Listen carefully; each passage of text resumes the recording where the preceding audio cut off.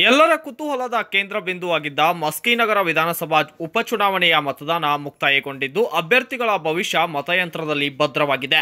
ಇನ್ನೇನಿದ್ದರೂ ಸೋಲು ಗೆಲುವಿನ ಲೆಕ್ಕಾಚಾರ ಇಷ್ಟೇ ಇದ್ದು, ಯಾರು ಗೆಲ್ಲುತ್ತಾರೆ, ಯಾರು ಸೋಲುತ್ತಾರೆ ಎಂಬ ಟೆನ್ಷನ್ ಅಭ್ಯರ್ಥಿಗಳಲ್ಲಿ ಮನೆ ಮಾಡಿದಂತಾಗಿದೆ.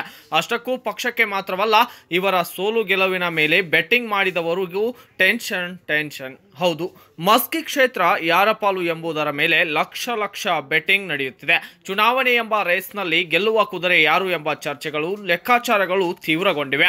ಮಸ್ಕಿನಗರ ವಿಧಾನಸಭಾ ಕ್ಷೇತ್ರದ ರಾಜಕೀಯ ಜಿದ್ದಾಜಿದ್ದಿಯ ಕಣವಾಗಿದ್ದು, ಅಖಾಡದಲ್ಲಿ ಅಭ್ಯರ್ಥಿಗಳು ಇದಕ್ಕೆ ಒಂದು ಕಾರಣವಾದರೆ, ಕೆಪಿಸಿಸಿ ಅಧ್ಯಕ್ಷ ಡಿಕೆ ಶಿವಕುಮಾರ್, ವಿರೋಧ ಪಕ್ಷದ ನಾಯಕ ಸಿದ್ದರಾಮಯ್ಯ, ಧ್ರುವ ನಾರಾಯಣ್ ಮತ್ತು ಕೈ ಕಾರ್ಯಕರ್ತರು ಸೇರಿದಂತೆ ಹೀಗೆ ಘಟಾನುಘಟಿಗಳನ್ನು ಮಸ್ಕಿ ನಗರ ಉಪಚುನಾವಣೆ ಕಣಕ್ಕೆ ಮೆರುಗು ತಂದಿದ್ದರು. ಸಾಲು ಸಾಲು ಪಕ್ಷಾಂತರ ಚುನಾವಣಾ ಪ್ರಚಾರಕ್ಕೆ ಅಡ್ಡಿ ಪರಸ್ಪರ ಹಣದ ಹೊಳೆ ಆರೋಪ ಮತ್ತು ಈ ಎಲ್ಲ ಕಾರಣಕ್ಕಾಗಿ ಮಸ್ಕಿ ಪ್ರತಿಷ್ಠೆಯ ಕನವಾಗಿತ್ತು.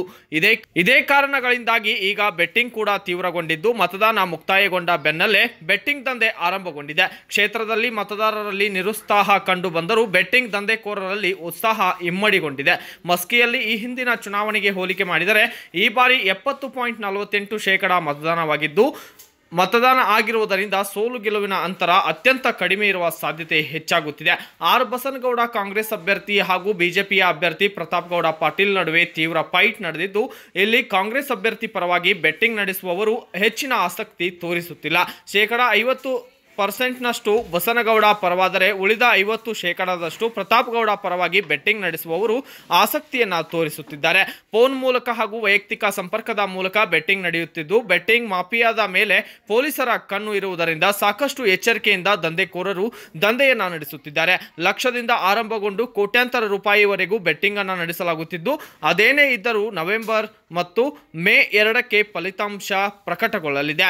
ಇನ್ನು ಇದಕ್ಕೆ ಸಂಬಂಧಪಟ್ಟಂತೆ ಅಲ್ಲಿಯವರೆಗೂ ಕಾಯಲೇಬೇಕಾಗಿದ್ದು ಇವಾಗ ಏನಿದ್ದರೂ ಅದೃಷ್ಟದ ಮೇಲಿನ ಲೆಕ್ಕಾಚಾರವಾಗಿದೆ.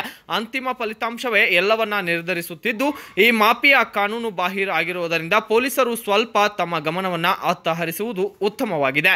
Bureau report, Manjunath Kumbar, Bharat Vaibhav news, Maski.